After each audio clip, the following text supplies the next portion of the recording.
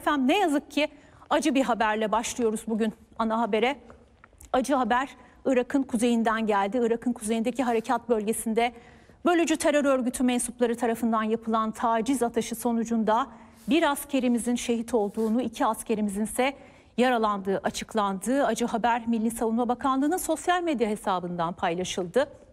E, açıklamada Irak'ın kuzeyi harekat bölgesinde 3 Şubat'ta bölücü terör örgütü mensupları tarafından yapılan taciz ateşi sonucu kahraman silah arkadaşımız piyade uzman çavuş Kadir Dingil şehit olmuş. İki kahraman silah arkadaşımız yaralanmıştır.